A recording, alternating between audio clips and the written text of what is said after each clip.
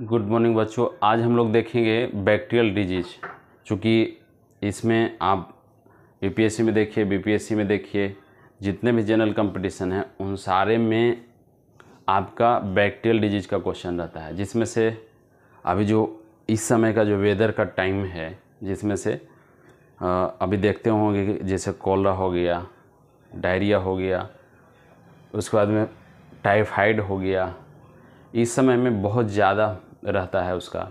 जो mode of transmission का time है, इस समय बहुत ज़्यादा होता है। क्योंकि इस समय में दो डिज़ीज़ हम लोग बस आप ऐसे ही भर भली आपको बता देते हैं।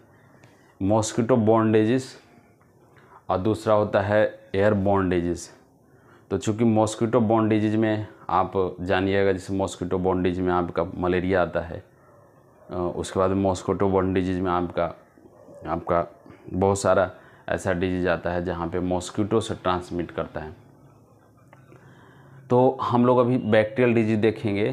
तो जीवाणु से जितने भी बैक्टीरियल डिज़ीज़ होता है, जिसमें से अभी एक बता रहे हैं हमको टाइफाइड तो चूँकि आपका जो जनरल कंपटीशन में अभी जो सवाल पूछा जाता है, उसमें से वो जो पैटर्न है डिज़ीज़ का पूछने का, उसमें से हम, मैं इवन कि आपका सेवन टू एट पैटर्न आपको बताएँ कि जिस पे आपसे पूछा जाएगा क्वेश्चन तो चूँकि टाइफाइड फीवर एक ऐसा फीवर है, जो कि आप ज़्यादातर वैसे पर्सन में देखिएगा, वैसे पेशेंट में देखिएगा, वैसे हेल्दी ह्यूमन बीइंग में देखिएगा। पहले तो हेल्दी ह्यूमन बीइंग रहते हैं, उसके बाद वो डिज़ीज़ से सफ़र रहते हैं। तो हेल्दी ह्यूमन बीइंग को में हम लोग देखते हैं कि टाइफाइड फीवर ऐसे कंडीशन में डेवलप करता है, जहाँ पे ऐसा देखा जाता है कि वो व्यक्ति कंटामिनेशन कंटामिनेटेड सबस्टांस को ज़्यादा ले पाते हैं। जैसे आपको इसमें से बताया जाएगा कि जो जीवाणु का जो नेम ऑफ़ द बैक्टीरिया है वो है सालमोनला टाइफी वो सालमोनला टाइफी जो बैक्टीरिया है, वो हमारे हमारे बॉडी का अगर जीवाणु का नाम देखें name of the bacteria Salmonella typhi होता है। दूसरा इसका हम लोग पढ़ते हैं नेम ऑफ़ द बैक्टीरिया दूसरा होता है साइट किस जगह पे हमारे बॉडी में उसका इन्फेक्शन करने का साइट है? दूसरा आता है मोड ऑफ़ ट्रांसमिशन कैसे फैलता है वो? तीसरा आता है टाइम ड्यूरेशन कितने समय तक उसका इफ़ेक्ट हमारे बॉडी में रहेगा? उसके बाद में होता है साइन एंड सिम्टम क्या साइन सिम्टम आता है?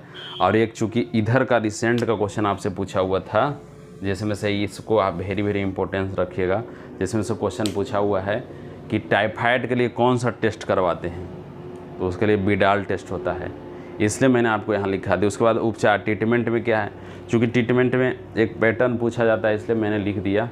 तो क्लोरोफेनिक इसके लिए क्लोरोमाइसिटिन का यूज़ करते हैं हम लोग इसके उपचार के लिए। उसका रोकथाम के लिए प्रिवेंशन के लिए साफ़ सफ़ाई करते हैं। अब हम लोग चूँकि इसका पैटर्न बताना था, इसलिए मैंने बता दिया।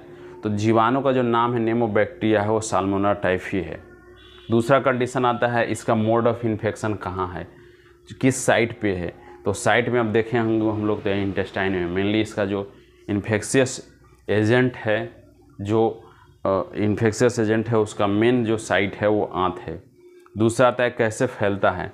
तो जनरली में ऐसा देखा जाता है, इसमें फैलने में तो मोस्ट सबसे जो फ्लाइंग है इसके लिए तो स्पेशली मक्खी को देखा जाता है, इसमें से फैलने का है।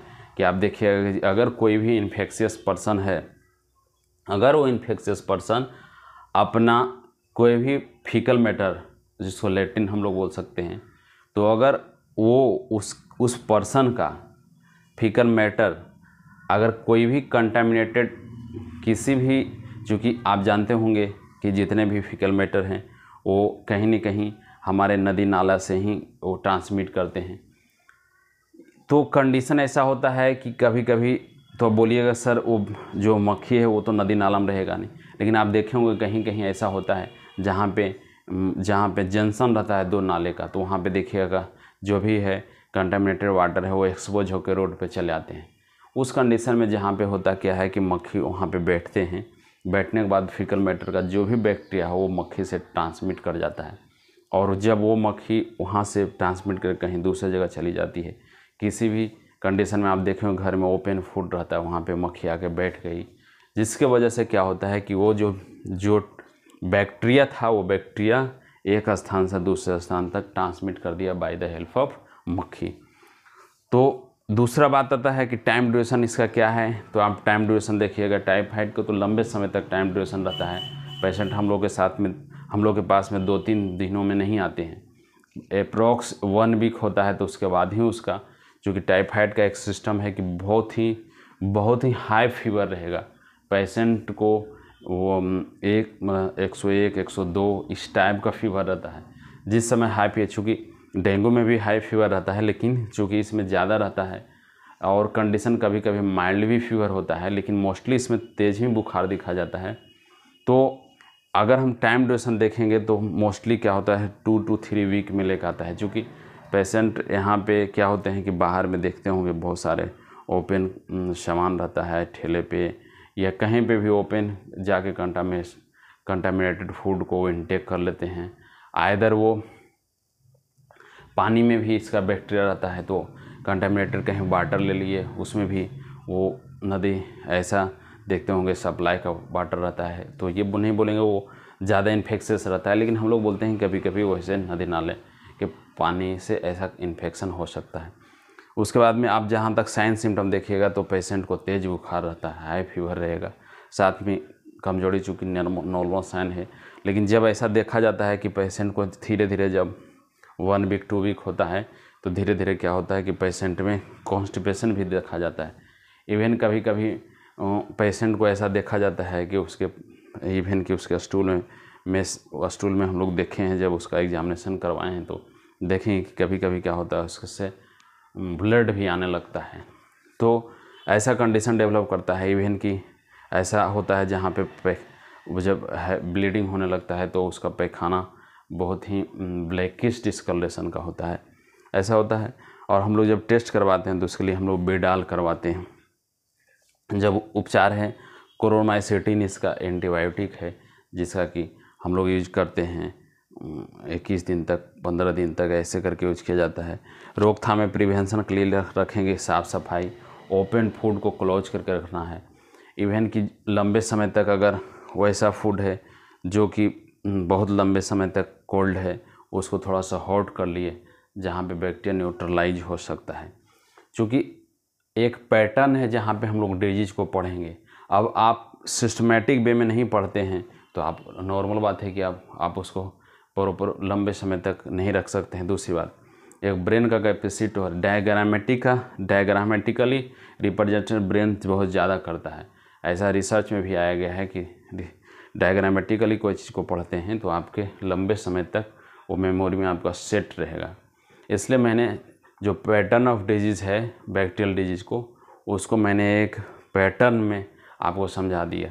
कि अगर हमको टाइफाइड डिज़ीज़ पढ़ना है तो सबसे पहले जानेंगे name of the bacteria name of bacteria में सालमोला टाइफी है दूसरा आता है इसका कि साइट कहाँ है तो इंटेस्टाइन इसका साइट है, जहाँ पे मोर चांस रहता है इन्फेक्शन का उसका। दूसरा आता है मोड ऑफ़ ट्रांसमिशन कैसे होता है तो मक्खी के द्वारा फैलता है कंटामिनेशन वाटर फ़ूड पानी इनटेकिंग की वजह से भी होता है। टाइम ड्यूरेशन है तो two two two three week रहता है इसका टाइम ड्यूरेशन उतने समय तक वो इन्फेक्शन कर सकता है, लेकिन मल्टीपल टाइम भी हम लोग तो पेशेंट को देखते हैं, दो, तीन, चार बार बोलता है, सर, हम लोग एयरली हो रहा है टाइफाइड तीसरा आता है, लक्षण इसमें क्या है? पेशेंट को कभी कभी माइल्ड फीवर भी रहता है, लेकिन ज़्यादातर इसमें देखा जाता है कि उसको बहुत ज़्यादा हाई फीवर ही रहता है। उसके बाद कॉन्स्टिपेशन भी आता है वीकनेस रहता ही है, मन नहीं लगेगा उसको लंबे समय तक स्टडी करने में। साथ में क्या होता है? कि इसका जाँच हम लोग करवाते हैं, इसके लिए बेडाल करवाते हैं, जिसमें कि सालमोना टाइप ही का दो दो टाइप है। उसके बाद में उपचार में ट्रीटमेंट में देखें क्रोमाइसिटीन इसका यूज़ किया जाता है एंटीबायोटिक तीसरा आता है इसमें कि रोकथाम के लिए हम प्रिवेंशन क्या करेंगे साफ़ सफ़ाई करेंगे कंटामिनेशन पानी फ़ूड इस सबसे बच के रहेंगे। तो इससे क्या होगा कि हम लोग एक बैक्टीरियल डिज़ीज़ से प्रॉपर अमाउंट में बच सकते हैं। इसलिए मैंने आपको एक बैक्टीरियल डिज़ीज़ में आपको हम टाइफाइड के लिए स्पेशली बता दिए कि टाइफाइड अगर फीवर किसी को होता है तो होने के वजह से हमको क्या क्या चीज़ हो सकता है? प्लस में एक पैटर्न क्या है कि हम किस कंडीशन में पढ़ लेंगे? तो इसलिए मैंने इसको स्पेशल आपको बता दिया। अब हम लोग पढ़ेंगे दूसरा डिज़ीज़ निमोनिया अब निमोनिया का भी पैटर्न देखेंगे डिज़ीज़ का हम किस तरह से स्टडी करेंगे बैक्टीरियल डिज़ीज़ का।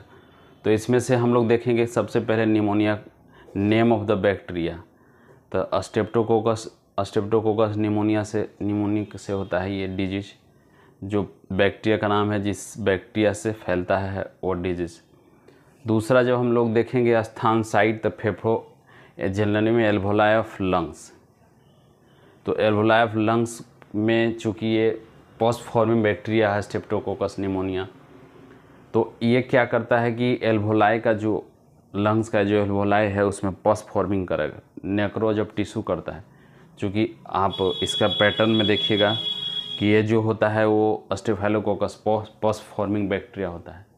तो इसलिए इसमें क्या होता है कि जो जनरल ऐसा ज़्यादातर देखा जाता है कि निमोनिया का अटैक जो जनरली होता है चिल्ड्रेन में ज़्यादातर। यंग एज में भी देखते हैं हम लोग, लेकिन इस समय में एक एक अभी जो वेदर आता है, जिसमें से अभी रेनी वेदर है, इसमें और एक कोल्ड वेदर में, इसमें से इसका अटैक बहुत ज़्यादा होता है। अब आता है इसमें फैलता कैसे? Mode of transmission. तो जो भी कंटामिनेटेड पर्सन होते हैं, जो भी कंटामिनेटेड चिल्ड्रन होते हैं, उनके संपर्क में आने से क्या करता है? ये बैक्टीरिया ट्रांसमिट करता है। क्योंकि उनके संपर्क में आने से उनके साथ में खाना, रहना उनके साथ में कोई भी चीज़ का, उसका जूठा का यूज़ करना यह बच्चों में ज़्यादातर देखिएगा, छोटा बच्चा है, वो अपना चॉकलेट अपने ले रहा है, दूसरे बच्चों को वही जूठा खिला दिया। जिससे कि ये ज़्यादातर फैलने का चांस होता है। तीसरा आता है कि इसका हम लोग टाइम ड्यूरेशन क्या देखते हैं तो टू टू, लगभग टू टू फोर वीक तक इसका टाइम ड्यूरेशन है। इवन कि अगर इसका ट्रीटमेंट प्रॉपर नहीं किया जाता है तो लंबे समय तक भी बच्चे ग्रसित रहते हैं इससे। तीसरा कंडीशन आता है, इसमें लक्षण क्या है? तो खांसी खांसी बहुत बच्चों में होगा। उसके बाद सांस लेने में फिर दिक्कत होता है। बच्चों में सांस लेने में दिक्कत आता है। बच्चों में सांस लेने में दिक्कत है। इवन कभी कभी हम लोग ऐसा देखते हैं निमोल, इसके लिए हम लोग एक स्पेशल प्रोसेस निमोलाइजिंग करना पड़ता है बच्चों में। कफ होता है उसको। कफिंग के, कफ जो भी उसका जो है, जो भी पॉस्ट फॉर्मिंग हो गया, उसको हम लोग क्या करते हैं, वहाँ से सक्शन करते हैं। तो इसके लिए हम लोग इसका लक्षण जब देखेंगे, बच्चों में बहुत ज़्यादा सीरियस कंडीशन होता है। इवन कभी कभी ऐसा कंडीशन दिखा जाता है निमोनिक कंडीशन में कि बच्चों के एकदम शरीर एक क्या बोलते हैं उसको, एक इनिमिक कंडीशन डेवलप करता है, जहाँ पे ऑक्सीजन का डिमांड बॉडी में घट जाता है। चूँकि लंग्स के, चूँकि पॉस फॉर्मिंग की वजह से एल्वोलाइक क्लियर रहता है, जिसके वजह से उसको साइन एक प्रकार का ब्लैकिस डिस्कलेशन बच्चों में देखा जा जाता है। Blue discoloration of the lip हो गया नेल हो गया चूँकि क्या होता है कि एक ने, एक क्या होता है कि वहाँ पे ऑक्सीजन नहीं जाने से बच्चों में क्या होता है कि एक डिफिशेंसी ऑफ़ ऑक्सीजन होने लगता है। और एक बहुत ही मेडिकल इमरजेंसी केस बनता है ये बच्चों में। ऐसा होता है कभी कभी डेथ भी कर जाते हैं। बच्चे लोग जब अगर सांस प्रॉपर नहीं ले पाते हैं तो अगर जाँच है इसके लिए तो हम लोग चेस्ट एक्सरे करवाते हैं ये ब्लड का कंप्लीट काउंट, जिसको बोलते हैं सी बी सी जो कि यहाँ पे मुझे डिटेल नहीं बताना है। बस मैं एक बता दिया कि अगर आपसे जाँच पूछा जाएगा, चूँकि हम लोग बिडाल के लिए जाँच, हम लोग टाइफाइड के लिए बिडाल करवाए थे, उसी तरह से अगर हम लोग निमोनिया का जाँच करवाते हैं तो एक एक जनरल जाँच आपको बता दिए सीटी सीटी करवाते हैं हम लोग, चेस्ट एक्सरे, उसके बाद में साथ साथ में एक सीबीसी करवाते हैं। अगर हम लोग बैक्टीरियल डिज़ीज़ कर लेते हैं तो इसके लिए एंटीबायोटिक का प्रयोग करते हैं जिसको एजिथ्रोमाइसिन आता है, एमोक्सीसिलिन, बहुत सारे ऐसे एंटीबायोटिक जहाँ पे हम लोग प्रयोग करते हैं। अब रोकथाम के लिए क्या करते हैं कि बच्चों को हम लोग कंटामिनेशन से बताते हैं। हेल्दी डाइट देते हैं, ऐसा डाइट न दें जो कि कंटामिनेटेड हो। ऐसा डाइट न दें जो कि उसके बॉडी में कोल्ड प्रोड्यूस ज़्यादा करे।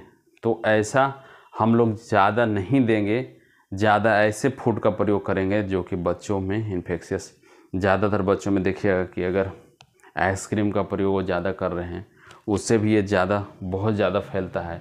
इसलिए बहुत ज़्यादा ऐसे कोल्ड सबस्टांस है जहाँ पे हम लोग ऐसा देखते हैं कि इसके प्रयोग करने से ये ज़्यादा तक, ज़्यादातर फैलता है। क्योंकि इस समय इसका क्या होता है कि इसका मोड ऑफ़ जो स्प्रेडिंग होता है, जो फैलने की दर होता है, वो इस समय ज़्यादा होता है।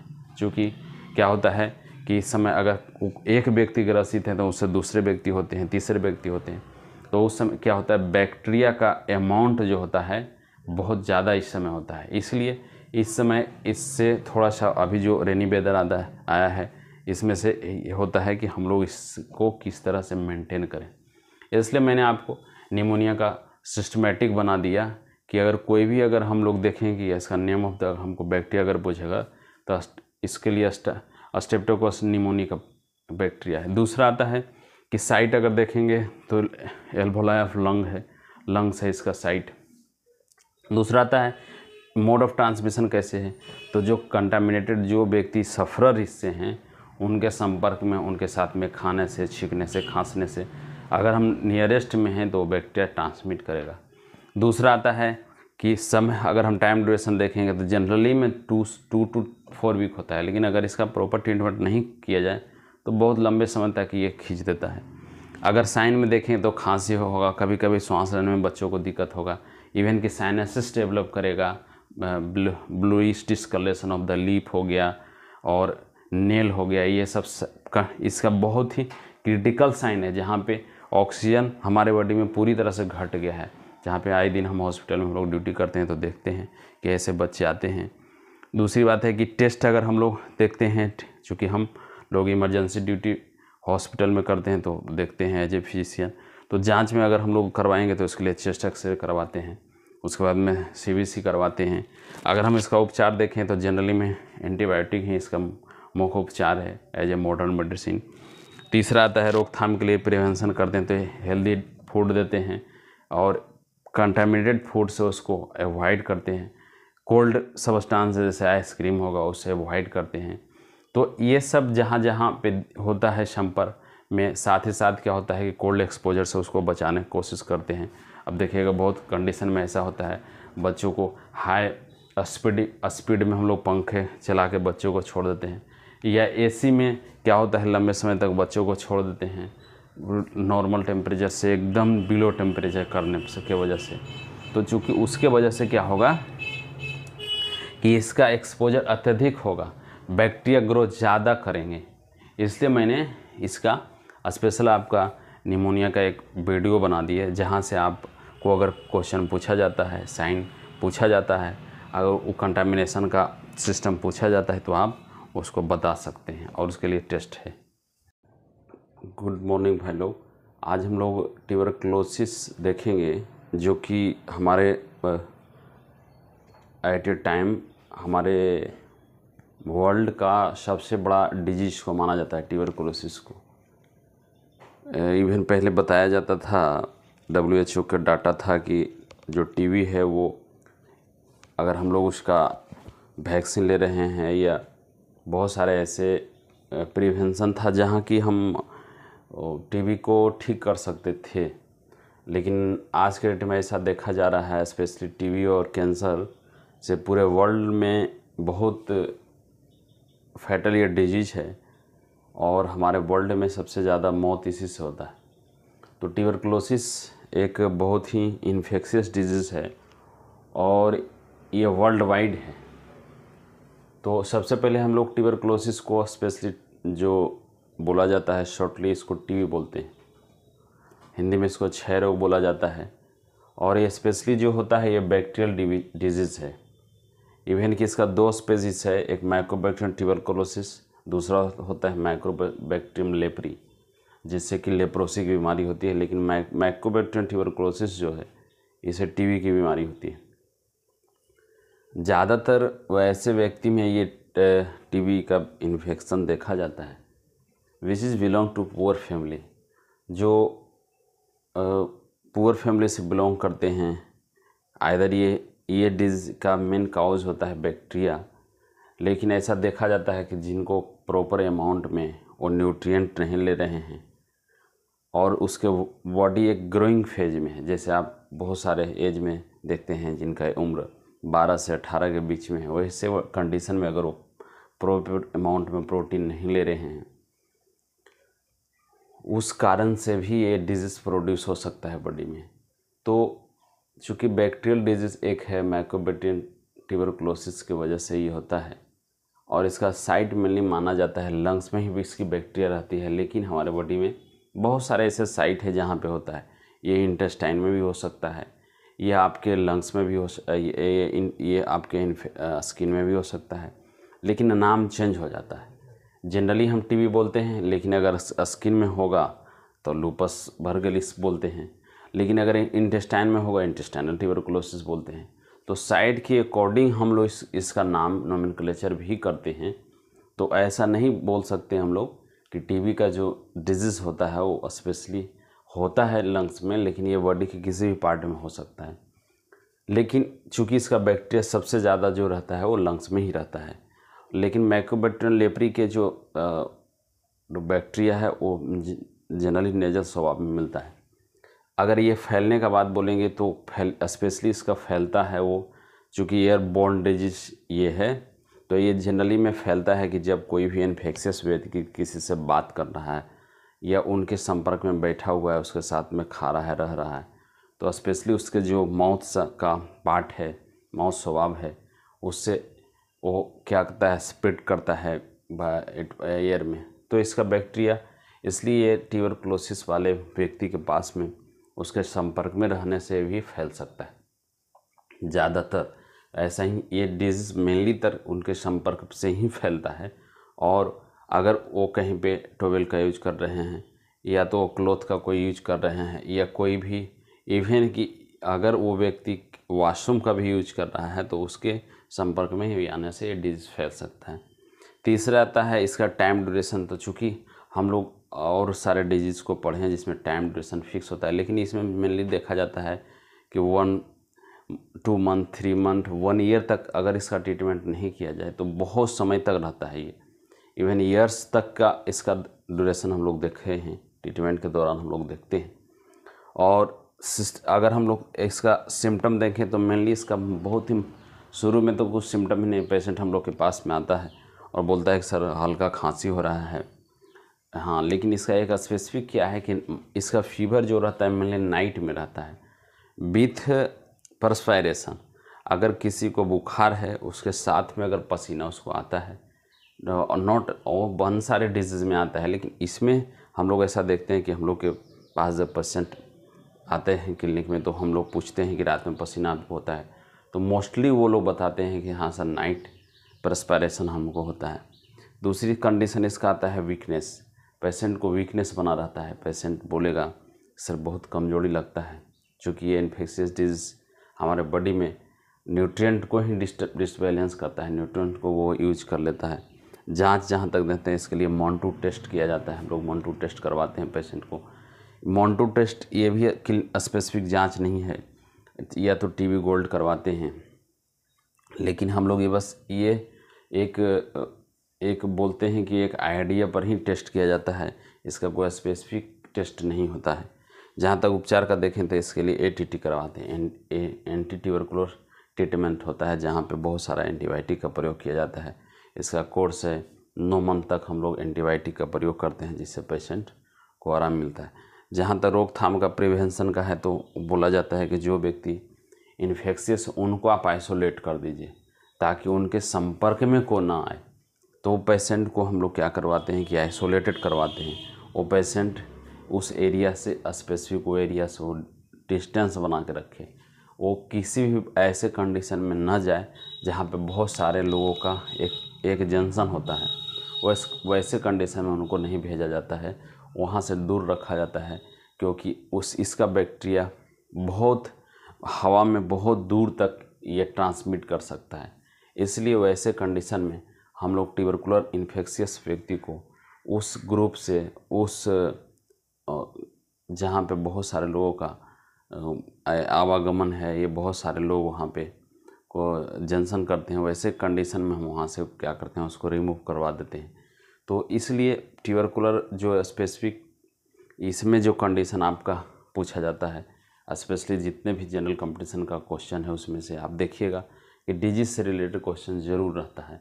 इसलिए मैंने इसका स्पेशली टीवी का जितने भी इन्फेक्शस डिजीजेस प्रोटोजोन्स का इवन के वायरस का बैक्टीरिया का, जो है स्पेसिफिक कलेक्टिवली हम एक डाटा बना दिए हैं जहाँ जहाँ से आप इसको देख सकते हैं। और एक एक स्पेसिफिक सिस्टमेटिक वे में कि अगर हमको उसका टीबी कोई डिज़ीज़ है, उसका जीवाणु का नाम क्या है तो हम वो जान सकते हैं। उसके बाद में इसका साइट ऑफ़ इन्फेक्शन क्या है, वो जान सकते हैं। तीसरा इसका आता है मोड ऑफ़ ट्रांसमिशन कैसे फैलता है? वो है, चौथा इसका आता है, समय काल टाइम ड्यूरेशन क्या है? कितना दिन तक ये ग्रसित हो सकते हैं इससे लोग? उसके बाद में सिस्टम इसका सिम्टम क्या है? तो जो जो सिम्टम है वो लिखेंगे। तीसरा, जो, छठा आता है इसका टेस्ट टेस्ट के लिए हम क्या टेस्ट करवाते हैं? साथ में उसके लिए उपचार क्या है?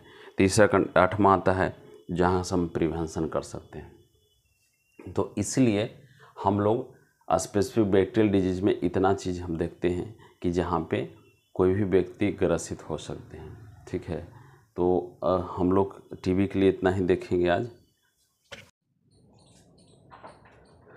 अब हम लोग कॉलरा देखेंगे बैक्टीरियल डिज़ीज़ में। हम लोग बैक्टीरियल डिज़ीज़ का जैसे टीबी हम लोग पढ़े, बैक्टीरियल में टाइफाइड पढ़े, उस तरह से हम लोग देखते हैं जो चौथा डिज़ीज़ है आपका, वो है कॉलरा। कॉलरा में हम लोग क्या देखते हैं, इस समय में कॉलरा का प्रकोप बहुत ज़्यादा होता है। इस समय जो रेनी वेदर होता है, इसमें कॉलरा बहुत ज़्यादा फैलता है। और चूँकि ये बहुत ही फैटल डिज़ीज़ है, और ये मेनली उस कंड it is also present in infection in all surrounding but specially ये वैसे कंडीशन डेवलप करता है जहाँ पे देखते होंगे। बहुत लोग झुकी झोपड़ी में रहते हैं, या वैसे जगह पे होता है जहाँ पे फ्लड ज़्यादा आता है। देखिए वो ऐसे स्थान में जहाँ पानी ही पानी है। वैसे कंडीशन में देखिएगा क्या होता है कि फिकल मैटर वो क्या होता है कि वाटर के साथ में ट्रांसमिट करता है जहाँ किसी भी एरिया में वो जा सकता है। तो ये ज़्यादा वैसे ये डिज़ीज़ का मेन वेदर होता है, वो होता है। होने का ही कभी भी होगा, लेकिन मेन वेदर होता है, वो रेनी वेदर में ही सबसे ज़्यादा ये फैलता है कॉलरा क्योंकि ये एक ऐसा कंडीशन एक समय हुआ करता था जहाँ कॉलरा हो जाता था तो गाँव का गाँव साफ़ हो जाते थे लोग। तो ये बहुत ही, आज भी बहुत बहुत ही डेंजरस डिज़ीज़ है। आज भी अगर गाँव विलेज एरिया में रूरल एरिया में हो जाता है तो इन बहुत ही पीएससी सेंटर उस संभालने में बहुत ही कंडीशन ख़राब होता है। हम लोग देखे हैं हम लोग क्लिनिकली हैं कि ऐसे कंडीशन है जहाँ पे एक नहीं दस दस बोटल वाटर को हम लोग इलेक्ट्रोलाइट को पेशेंट को चढ़ाना पड़ता था हॉस्पिटल ड्यूटी में। इसलिए अगर कॉलरा का देखेंगे तो जनरली में भेवरियो कॉलरी से ये बैक्टीरिया से होता है, जो कि बहुत ही डेंजर डिज़ीज़ माना जाता है। एकदम पेशेंट का मौत सडन होता है। एकदम सडन आपको पता भी नहीं चलेगा, चार घंटे, आठ घंटे, चौबीस घंटे के अंदर में सडन इसका मौत हो जाता है। अगर हम लोग इंटेस्टाइन का जनरली में इसका ग्रसित स्थान देखें तो मेनली जो इसका जो बैक्टीरिया है, बैक्टीरिया तो कहीं भी इन्फेक्शन कर सकता है, लेकिन मेनली इसका जो बैक्टीरिया होता है वो इंटेस्टाइन पे ज़्यादा प्रोड्यूस करता है डिज़ीज़ दूस, दूसरी बात इसका आता है कि मोड ऑफ़ ट्रांसमिशन कैसे है? तो मोड ऑफ़ ट्रांसमिशन में जो देखेंगे कंटेमिनेटेड फ़ूड या वाटर वैसे लेने से भी हो सकता है। यह कभी कभी क्या होता है? हेल्दी फ़ूड के साथ में भी बैक्टीरिया मिक्सअप होकर चला जाता है। वो वाटर हो या तो वाट पानी ये भोजन हो किसी के द्वारा भी चला जाता है। लेकिन मेनली देखा जाता है कि उसी कंडीशन में ज़्यादा जहाँ पे कंटामिनेटेड फ़ूड और वाटर को हम इंटेक कर रहे हैं जहाँ पे जहाँ पे वो बैक्टीरिया उस वाटर या, उस वाटर या फ़ूड में मिला हुआ है। दूसरा देखते हैं कि अगर इसका हम इन्फेक्शन का मोड ऑफ़ अगर हम लोग ड्यूरेशन ऑफ़ टाइम देखें तो मेनली चौबीस आवर का होता है। चौबीस आवर में पेशेंट अगर ठीक हुआ हुआ, नहीं हुआ तो फिर वो डेंजर फ़ेज़ में चला जाता है। अगर लक्षण देखेंगे तो पेशेंट को मेनली ज़्यादातर वाटरी डायरिया होता है। इसमें हम लोग देखते हैं white watery diarrhoea with vomiting किसी किसी को ओनली वाटर डायरिया होता है, किसी को बैटर वाटर डायरिया के साथ में वोमिटिंग भी होता है। लेकिन ऐसा भी देखा जाता है कि कॉलरा के कंडीशन में केवल वाटर डायरिया हो गया उसके साथ में पेशेंट का कोलेप्स कंडीशन में चला जाता है। अगर हम जाँच के लिए देखते हैं तो कोई भी स्पेसिफिक जाँच इसके लिए नहीं है। जिस तरह से हम लोग देखते हैं टीबी में जाँच है तो उसके लिए मोन्टो टेस्ट करवाते हैं। इस कॉलरा में अगर हम लोग देखेंगे तो ऐसा नहीं है कि इसके लिए कोई स्पेसिफिक जाँच है, उसके बाद भी उसका ट्रीटमेंट होगा, ऐसा कुछ नहीं है। केवल साइन सिम्टम पर हम लोग देखते हैं, जहाँ पे ज़रूरत होगा मेनली इस कॉलरा के कंडीशन में इलेक्ट्रोलाइट ही बैलेंस किया जाता है। सलाइनेशन ही मुख्य उसका ट्रीटमेंट है, जहाँ पे जो भी इलेक्ट्रोलाइट बैलेंस हुआ है इम्बैलेंस हुआ है पेशेंट को तो हम लोग वहाँ पे इलेक्ट्रोलाइट को चढ़ाते हैं। उसके बाद में आता है उपचार तो मेनली उपचार इसका सलाइन ही होता है, जहाँ पे हम लोग आर एल बहुत सारे ऐसे, जहाँ पे होता है एन एस हम लोग इसका मेनली चढ़ाते हैं। साथ में कुछ एंटीबायोटिक जैसे मेटोनिडाल ओनिडाडोल ओफ्लोक्सासिन ये सब ऐसा है एंटीबायोटिक जहाँ पे हम लोग इसका प्रयोग करते हैं। साथ में रोकथाम के लिए है कि साफ़ सफ़ाई पर हम लोग ध्यान देते हैं।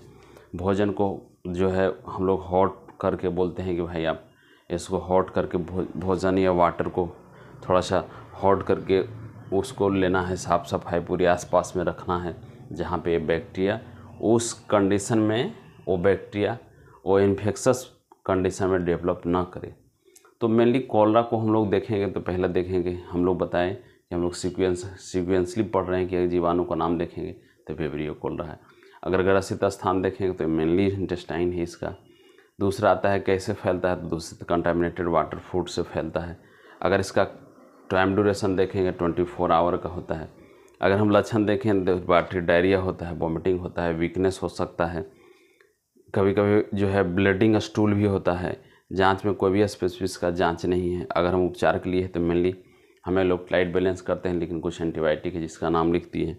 रोकथाम के लिए हम लोग मेनली साफ़ सफ़ाई और खान पान में हम लोग कॉन्टामिनेटेड जो भी फ़ूड या वाटर है, उससे हमको पूरी तरह से दूर रहना है। तब होगा। थैंक यू अब हम लोग अगला डिज़ीज़ जो देखेंगे बैक्टीरियल में, वो डिप्थेरिया है। तो डिप्थेरिया में हम लोग देखेंगे कि डिप्थेरिया जनरली में ईयर में देखा जाता है। तो बहुत सारे डिज़ीज़ का स्पेसिफिक हम एज नहीं बताए, लेकिन इसमें क्या है कि डिप्थेरिया में थ्री टू फाइव ईयर के बच्चों में ये ज़्यादातर होता है। और जहाँ तक देखेंगे कि अगर हम डिप्थेरिया का बैक्टीरिया का अगर नाम लेंगे तो ये जनरली होता है कॉर्नियो बैक्टीरियम डिप्थेरी से होता है। कॉर्नियो बैक्टीरियम डिप्थेरी ये बैक्टीरिया है। जो कि डिप्थेरिया काउज करता है, इसमें से जनरली में बच्चों को थ्रोट इन्फेक्शन ज़्यादा होता है। थ्रोट में स्वेलिंग होना थ्रोट से उसको स्वेलिंग किसी चीज़ को घोटने में दिक्कत होना तो मेनली इसका देखा जाता है डिप्थेरिया का मेनली बच्चों में ज़्यादातर, गला में ज़्यादा होता है। इवन कि स्किन में रैसेस भी देखा जाता है किसी किसी कंडीशन में हम लोग आए हुए बच्चों में। आज इस समय हम लोग ज़्यादातर देखते हैं कि बच्चों, हम हम लोग के क्लिनिक में आता है। और ये कभी कभी क्या होता है, बच्चों में रेसेस भी दिखता है बॉडी पे। रेसेस भी रेड रेडनेस टाइप का रेसेस भी हम लोग देखते हैं। और जनरली में इसका जो बैक्टीरिया होता है, मेनली एयर बोर्न डिज़ीज़ है ये। जनरल में इसका बैक्टीरिया जो है, वो वायु से ज़्यादा ट्रांसमिट करता है। जहाँ तक डिप्थेरिया का अगर हम टाइम ड्यूरेशन देखते हैं तो टू टू टेन डेज़ तक में इसका इन्फेक्शन बच्चों में पाया जाता है। बच्चे का इन्फेक्शन अगर टू टू टेन डेज़ तक हम लोग अगर उसका फर्दर ट्रीटमेंट नहीं किया गया तो या तो यह सबसाइड करेगा, नहीं तो फिर इसका सेकेंड इन्फेक्शन प्रोड्यूस में बॉडी में प्रोड्यूस हो सकता है। दूसरी आता है इस बच्चे में क्या होता है? तो जहाँ पे देखा जाता है कि उस बच्चों को जनरली में रिस्पायरेटरी डिस्ट्रेस करेगा डिजनिया डेवलप करेगा, जहाँ पे सांस लेने में उसको दिक्कत होगा। साथ साथ थ्रोट में किसी भी चीज़ को घोटने में या निगलने में ऐसा क्या होता है? उसको दिक्कत होता है। और कुछ बताएँ दिए कि स्किन में उसको क्या होता है? स्किन में रेसेस की वजह से क्या होता है कि उसको वहाँ पे पेन भी क्रिएट होगा। जहाँ इसका बहुत अच्छा एक वैक्सीनेशन है, जहाँ पे हम लोग वैक्सीनेशन के लिए डीपीटी का टीका होता है, जहाँ पे दिखा दिया जाता है ताकि वो फर्दर इन्फेक्शन प्रोड्यूस नहीं हो। और जहाँ तक बात अगर आता है ट्रीटमेंट का तो हम लोग जनरली में इसका एंटीटॉक्सिक ट्रीटमेंट करते हैं, जहाँ पे पेंसुलिन है, ये भी फ़र्स्ट एंटीबायोटिक है जिसका प्रयोग किया जाता है। साथ साथ साथ में आता है कि हम लोग प्रिवेंशन क्या करेंगे? तो प्रिवेंशन में है कि इन्फेक्शियस, जो भी सब बच्चे हैं उसको हम लोग प्रोटेक्ट करके दूसरे बच्चे से रखें। दूसरा आता है साफ़ सफ़ाई के लिए। तो यहाँ पे किया जाता है कि जो भी, जहाँ पे भी कंटेमिनेशन है, उसको क्या करते हैं हम लोग, उसको आइसोलेट करते हैं। या वैसे कंडीशन में हम लोग क्या करते हैं हॉट वाटर हॉट भोजन फ़ूड का यूज़ करते हैं, जिससे कि वो इन्फेक्शन ज़्यादा प्रोड्यूस नहीं हो। तो इसलिए डिप्थेरिया का जनरली में दो बात को आपके as a competition point view से जहाँ पूछा जाता है, जिसमें से ईयर इसका याद रखिएगा। दूसरा, इसके लिए हम लोग वैक्सीनेशन क्या यूज़ करते हैं, उसके लिए टीका क्या है, ये बहुत ज़रूरी है डिप्थेरिया के लिए। आप किसी भी बीपीएससी का एग्ज़ाम में या बहुत सारे ऐसे एग्ज़ाम हैं जहाँ पे देखिएगा कि डिज़ीज़ से ज़रूर से ज़रूर रहता है। इसलिए थैंक यू अब हम लोग देखेंगे लेप्रोसी तो लेप्रोसी में हम लोग ये देखेंगे कि जिस तरह टीबी एक प्रकार का छः डिज़ीज़ माना जाता है। इस तरह से ये इवन की सोसाइटी में इसको हम लोग थोड़ा दूसरे पॉइंट ऑफ़ व्यू से देखते हैं। लेकिन चूँकि एक प्रकार का ये हमारा डब्ल्यू एच ओ इस पर ये कर चुका है कि ये डिज़ीज़ ही है एक प्रकार का, जिसको हमको लेप्रोसी हिंदी में इसको कोड या कोड रोग भी बोलते हैं। जनरल में इसको जो आपसे क्वेश्चन स्पेशली पूछा जाता है, चाहे बीपीएससी हो या अन जितने भी जनरल कंपटीशन उसमें से पूछा जाता है कि हम लोग लेप्रोसी डे जो वर्ल्ड लेप्रोसी डे मनाते हैं, वो लास्ट संडे ऑफ़ जनवरी जनवरी के लास्ट संडे में हम लोग इसको, ये लेप्रोसी डे के नाम से मनाते हैं। साथ ही साथ इसमें क्वेश्चन आपका रहता है कि लेप्रोसी में नेमो बैक्टीरिया क्या है तो माइक्रोबैक्टीरियम ट्यूबरक्लोसिस से होता है टीबी की बीमारी, जबकि माइक्रोबैक्टीरियम लेप्री से जो होता है, वो होता है लेप्रोसिस इसलिए माइक्रोबैक्टीरियम लेप्री इसका नाम है। अगर हम लोग देखेंगे तो इसका मेनली जो ग्रसित स्थान जहाँ पे वो बोलते हैं मोड ऑफ़, जो इन्फेक्शियस साइट है वो मेनली फ्लेंजेज में ज़्यादातर देखिएगा ये होता है फ्लेंजेज में ज़्यादातर देखा जाता है। साथ ही साथ इसमें क्या देखते हैं कि फैलता कैसे है तो ग्रसित व्यक्ति के संपर्क में, चूँकि माइक्रोबेट लेप्री का जो पेशेंट होता है, उसका जो बैक्टीरिया होता है, उस मेनली नेज नेजल रीजन में नेजल सेप्टम रीजन में ही पाया जाता है बैक्टीरिया मेनली तो अगर वो छींकता है या उसके संपर्क में किसी कारण से आने से से भी फैल सकता है। इसलिए उस व्यक्ति के से बोला जाता है कि वो दूर रहना चाहिए। जनरली में लक्षण हम लोग जहाँ तक देखेंगे तो लक्षण जहाँ तक शरीर के चमड़े का क्षय होना, देखिएगा मेनली उसमें क्या होता है फ्लेंजेज एरिया में क्या होता है वहाँ पे टिश्यू नेक्रोज करने लगता है, सड़ने लगता है, उसमें पिटिफिकेशन होता है, सड़न होता है देखिएगा बदबू होता है। साथ ही साथ क्या होगा, वहाँ सेंसेशन लॉस कर जाएगा। कुछ समय के बाद में क्या देखिएगा, उस उस एरिया में जो तन जो है नर्वस सिस्टम का पार्ट जो है न्यूरॉन्स सारा वो क्या होता है डैमेज करने लगता है, जिससे उससे सेंसेशन लॉस भी हो जाता है। अगर हम इसका जाँच का देखेंगे तो कोई भी स्वभाव जनरली में इसका जो नेजल स्वभाव होता है, वो नेजल स्वभाव से ही इसका मेनली जाँच किया जाता है। तो यह उस पार्ट स्पेसिफिक पार्ट को हम लोग as a microbial microscopic examination के लिए भेजते हैं, जहाँ पे माइक्रोबैक्टीरियम ट्यूबरकुलोसिस का बैक्टीरिया दिखे। साथ ही उसका उपचार के लिए हम लोग वही जो मेनली डब्ल्यू एच ओ का ग्राउंड है कि ए टी टी ट्रीटमेंट ही मेनली है कुछ कुछ बैक एंटीबायोटिक का भी प्रयोग करते हैं। रोकथाम के लिए हम लोग क्या करते हैं, जो ग्रसित व्यक्ति है उससे उससे उसको क्या करते हैं, दूर रखते हैं। चूँकि एक सोशल स्टिग्मा के अंदर में इसको रखा गया है, लोग मानते थे। लेकिन आज के डेट में ये ऐसा प्रूव्ड हो चुका है डब्ल्यू एच ओ इसको प्रूव कर दिया कि it is also a bacterial disease. तो इसलिए हमें लोग इसको सामाजिक कलंक एक सोशल स्टिग्मा से हम लोग दूर कर दिए इवन मनमोहन सिंह इसको सोशल स्टिग्मा से दूर कर दिए हैं। और जहाँ पे इसलिए लेप्रोसी और बैक्टीरिया, चूँकि बैक्टीरिया जो होता है वो इंटरनल डिज होता है, बाहर में दिखता नहीं है।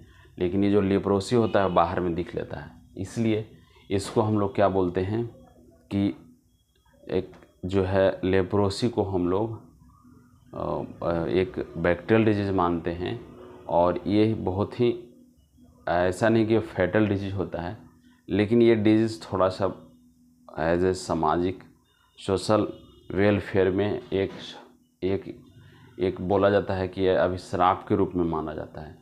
इसलिए ये डिज़ीज़ से बॉडी में ज़्यादा दिक्कत होने से, ज़्यादा माइंड में दिक्कत होता है, लोगों से संपर्क बनाने में दिक्कत होता है। इसलिए ये डिज़ीज़ थोड़ा सा माना जाता है कि not a fatal not as danger but it is a also a insulting and embrace embarrassment के कंडीशन डेवलप करता है इसमें।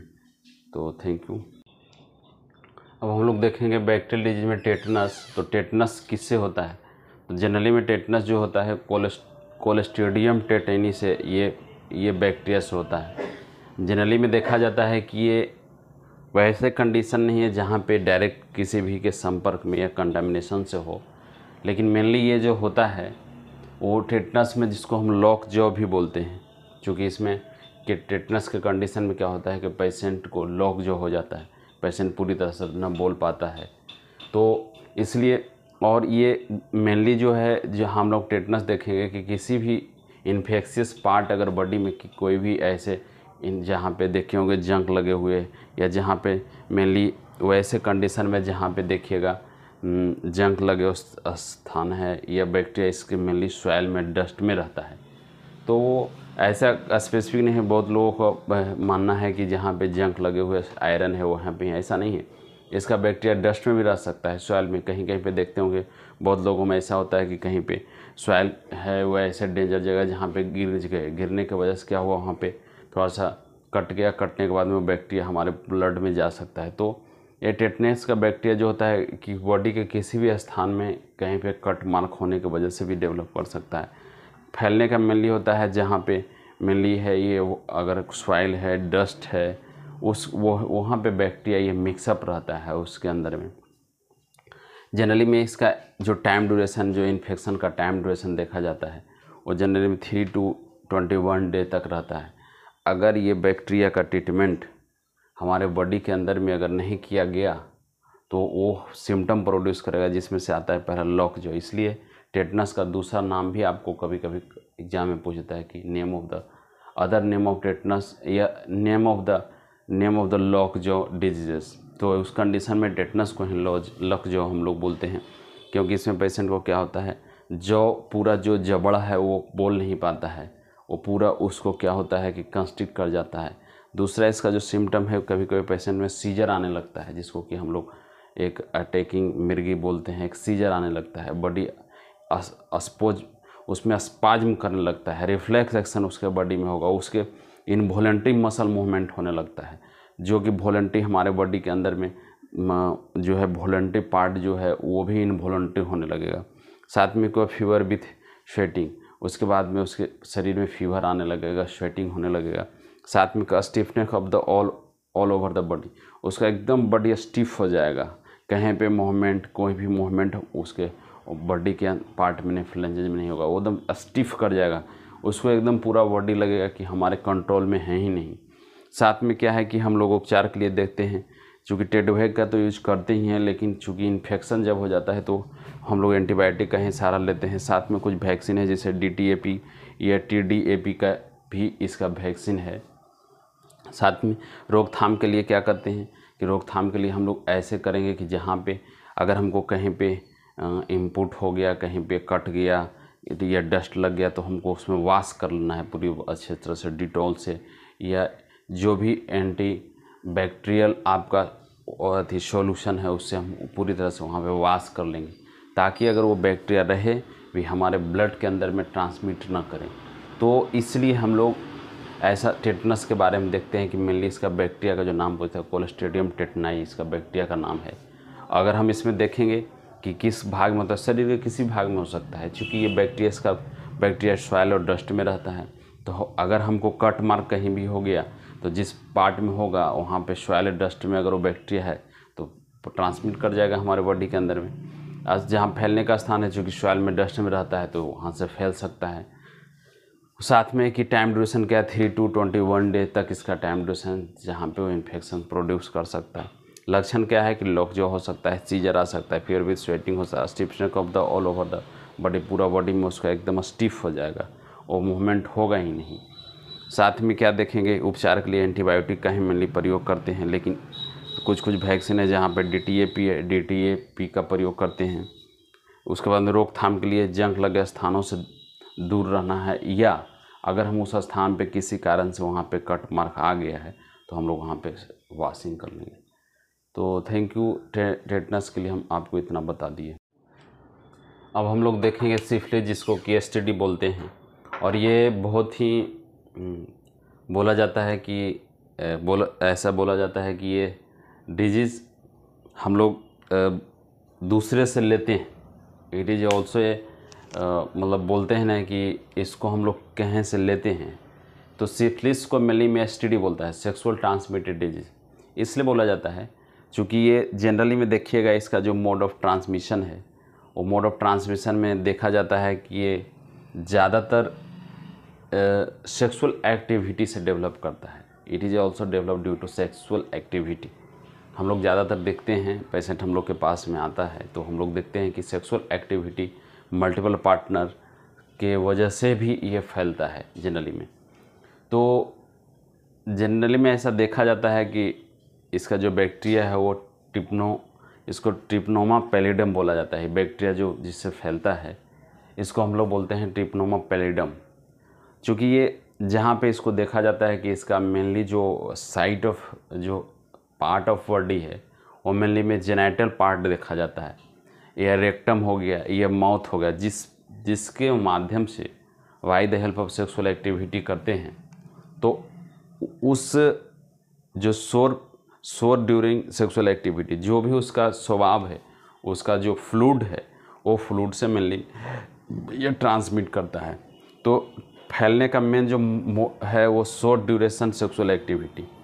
जो शो, जो शोर वहाँ का है, ड्यूरिंग सेक्सुअल एक्टिविटी के द्वारा जो शोर है, उस पार्ट का जो फ्लूड वाटरी फ्लूड शोर मतलब मेनली वाटरी फ्लूड होता है, वो वाटरी फ्लूड से मेनली इसको हम लोग थे, ऐसे समझ लीजिए कि जो भी वाटरी फ्लूड है वाटरी फ्लूड से मिली में फैल फैलता है। जो भी वाटरी फ्लूड है, वो वाटरी फ्लूड वाटरी फ्लूड जो भी ड्यूरिंग सेक्सुअल एक्टिविटी के द्वारा होता है तो सेक्सुअल एक्टिविटी में के माध्यम से ही ये ये जो है बैक्टीरिया किसी दूसरे पर्सन में ट्रांसमिट करता है। साथ में देखा जाता है कि इन्फेक्शियस का जो इसका मोड ऑफ़ इन्फेक्शन का ड्यूरेशन पीरियड ऑफ़ टाइम है, वो 14 टू 21 डेज़ देखा जाता है। ऐसे तो चूँकि ये जब संपर्क में लोग आते हैं तो उसका बैक्टीरिया उतना टाइम और ड्यूरेशन तक हमारे बॉडी के अंदर में ग्रो करते रहता है। जहाँ पे देखेंगे कि लक्षण क्या आता है तो उस हम लोग जनरली में लक्षण देते हैं loss of hair hair losing होने लगता है। उस पार्ट में शोर दुखन होने लगता है। पस कभी कभी किसी कंडीशन में देखते हैं कि हम लोग उस जेनाइटल पार्ट में, पॉट डिस्चार्जिंग आता है हम लोग के पेशेंट मेनली हम लोग के पास में पेशेंट ऐसा है साथ में इम्यून रिस्पॉन्स का जो हमारे बॉडी में साइन है लिम्फेटिक नोड स्वेलिंग होने लगता है। जो भी लिम्फेटिक नोड का एरिया है, वहाँ पे हम लोग स्वेलिंग देखने लगते हैं। तो मेनली चूँकि लॉस ऑफ़ हेयरिंग होने लगता है, उस पार्ट में शोर होता है पस डिस्चार्जिंग होता है लिम्फ नोड स्वेलिंग होने लगता है इन्लार्जमेंट होने लगता है तो हम लोग उस, ऐसे कंडीशन में हम लोग समझते हैं कि जब person is suffering from syphilis इसके लिए हम लोग वी करवाते हैं, जो वेनल डिज़ीज़ एक टेस्ट है, जिसमें से वी में ये क्लियर होता है the person is suffering from the syphilis उपचार के मेनली में एंटीबायोटिक में पेंसिलिन का हम लोग यूज़ करते हैं। जहाँ तक रोकथाम का है प्रिवेंशन के लिए हम लोग बोलते हैं कि जब भी आप मल्टीपल पार्टनर का यूज़ करते हैं, या ऐसे भी कंडीशन में जहाँ हम लोग को इन्फेक्शियस कंडीशन से प्रोटेक्टिव रहने के लिए हम लोग कॉन्डोम का यूज़ करवाते हैं, जहाँ पे आप उस सेक्सुअल ट्रांसमिटेड डिज़ीज़ से आप बच सकते हैं। तो जहाँ पे हम लोग एसटीडी का बात बोलते हैं, कहते हैं, बोला जाता है तो S T D is also बोलते हैं ना, वो ट्रांसमिट करते हैं किसी से। अब ट्रांसमिटेड डिज़ीज़ है, एक दूसरे से फैलने वाला होता है, क्योंकि इसलिए इसको हम लोग एक बहुत ही, बोला जाता है कि डेंजरस फ़ेज़ में it is also not a fatal disease but हम लोग को जहाँ देखा जाता है कि ये बहुत ही एक डेवलप करने वाला जहाँ पे माउथ में देखिएगा बहुत लोगों को इन्फेक्शन होता है। रेक्टम पार्ट में इन्फेक्शन होने लगता है, जेनेटल्स एरिया में इन्फेक्शन होने लगता है और बहुत सारा इससे सेकेंडरी इन्फेक्शन भी बॉडी के अंदर में होने लगता है। पेशेंट को तरह तरह का पेशेंट हमारे पास, हम लोग के पास में सिम्टम लेके आते हैं। इनके इसके अलावे जो प्राइमरी सिम्टम है उसके अलावे भी सेकेंडरी इन्फेक्शन भी बॉडी के अंदर में डेवलप करता है। जहाँ पे बॉडी पेशेंट ज़्यादातर बीमार रहने लगेगा और इस कहीं पे थोड़ा सा भी वर्किंग करेगा फैटिक हो जाएगा। तो इस कंडीशन में मतलब इम्यून इम्यून सिस्टम का पार्ट डीअरेंजमेंट होने रहता थी स्लोली स्लोली डी, जो इम्यून रिस्पॉन्स है, वो स्लोली स्लोली डिक्रीजमेंट होने लगता है। तो इसलिए जो ये डिज़ीज़ है, ये इम्यून रिस्पॉन्स के लिए एक बहुत ही मतलब बताया जाता है कि हमारे बॉडी के लिए एक डेंजर फ़ेज़ होता है। जिसमें से पेशेंट मेंटली बहुत स्ट्रेस में रहता है। क्योंकि इससे मेंटली वो ज़्यादा डिप्रेशन में पेशेंट एनजाइटी डिप्रेशन में सफ़र करता है। क्योंकि एक उसके बॉडी में ऐसा अभिश्राप उसको लगता है कि नहीं है ऐसा हम किए हैं, इसके वजह से होता है। तो डी टी नॉट हम लोग ऐसा नहीं बोल सकते हैं कि ये एक प्रकार का, एक एनजाइटी का क्रिएशन का पॉइंट है, ऐसा कुछ नहीं है। लेकिन it is also a protective आपको ये प्रोटेक्शन में रहना चाहिए। ये हो सकता है ये disease the person is contact with me which is suffering from this type of disease so it is a, you are very wise at that time कि आपको उस चीज़ को भली भांति समझ के ही काम करना चाहिए। तो इसलिए मैंने इसको टिप ट्रिप, ये, ट्रेपिन ये ट्रेबनियम पैलिडम से ये डिज़ीज़ होता है और जनरली में ये टाइम ड्यूरेशन अगर देखेंगे सिम्टम देखेंगे loss of hair so patient directly हम लोग के पास में सिम्टम लेके आता नहीं लेकिन चूँकि उसके सिम्टम से हम लोग कलेक्टिवली जब उसके सिम्टम को जब हम लोग एनालिसिस करते हैं तो उसमें सम, हम लोग को ये आता है कि नहीं the person suffering from this type of disease so thank you इसके लिए मैंने आपको आप you are wise for this okay अब हम लोग दूसरा जो स्टडी का दूसरा पार्ट है, वो है गोनोरिया जो जो सिफिलिस का कॉमन सिम्टम है गोनोरिया में मतलब मेनली आपको वो मिलेगा। तो गोनोरिया में हम लोग देखेंगे, ये भी एक प्रकार का स्टडी ही है। ये भी स्टडी के ही अंदर में हम लोग पढ़ते हैं। सेक्सुअल ट्रांसमिटेड डिज़ीज़ है। जनरली में इसका जो निजेरिया गोनोरिया इसका bacteria name of the bacteria है निजेरिया गोनोरिया तो इसके अंदर में हम जो साइट ऑफ़ इन्फेक्शन देखते हैं तो जो साइट ऑफ़ इन्फेक्शन सिफिलिस का है, वो इसका भी है। बस केवल जो यूरिनरी ट्रैक वाला पार्ट है, उसमें होगा। ओरल पार्ट में होगा तो और जो रेक्टम पार्ट है उसमें होला, होगा। तो जनरली में इसका जो पार्ट देखा जाता है, जिसमें से ऐसा गोनरिया केस में ऐसा होता है कि वो अगर कंडीशन डेवलप कभी कभी हम लोग देखते हैं, ऐसा कर जाता है कि पेशेंट इनफर्टिलिटी सफ़र करने लगता है। आयदर मेल हो आयदर फीमेल हो। सेकेंड इन्फेक्शन इनफर्टिलिटी होता है बच्चों में। फीमेल में बच्चों का दिक्कत होने लगेगा, ओहा नहीं बनेगा।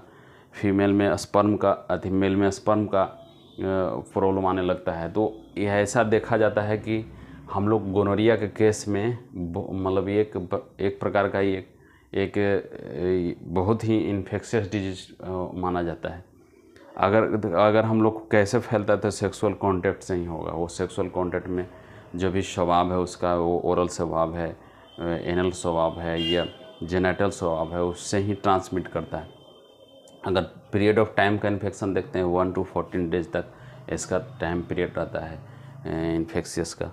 और लक्षण जहाँ पर दिखाएँगे तो चूँकि सेकेंडरी इन्फेक्शन इसका ज़्यादा था, पेशाब यूरिन में वर्निंग देखा पेशेंट आएगा स्टोमिक लोअर स्टोमिक पेन दिखाएगा। सेकेंडरी मेनली इससे सेकेंडरी इन्फेक्शन होता है।